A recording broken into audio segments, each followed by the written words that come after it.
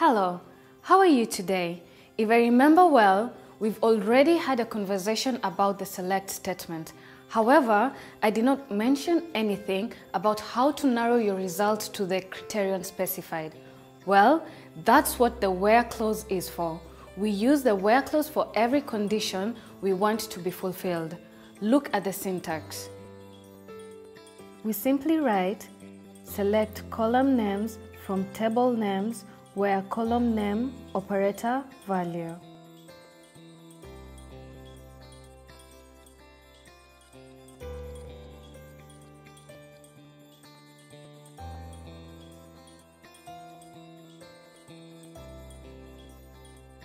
Let's write a query based on my sample table. We are looking for every customer whose service price is over $500.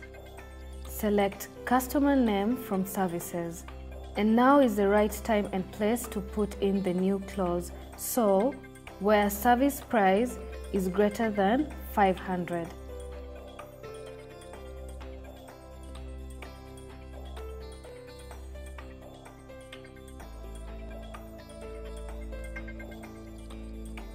Okay, it was easy, but the where clause can contain very complex conditions with more than just Boolean operators. We also have between, like, and in operators. Between narrows results to every element in a range of between values. In our case, we can find every service made between the 3rd and the 6th of July 2012. Let's write select asterisk from services where service date between July 3, 2012 and July 6, 2012.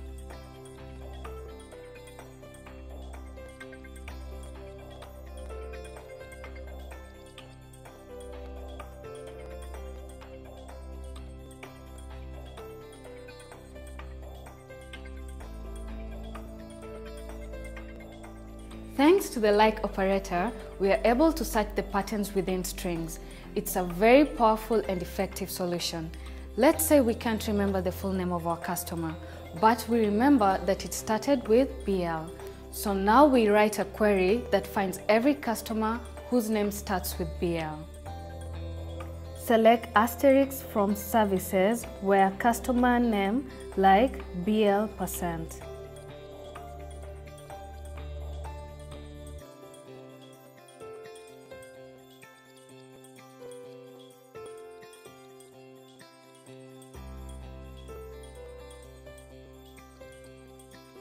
Easy, don't you think? Just remember that the percent sign defines missing letters in our pattern. You can use it before and after a searched string. Take care and see you soon. Bye.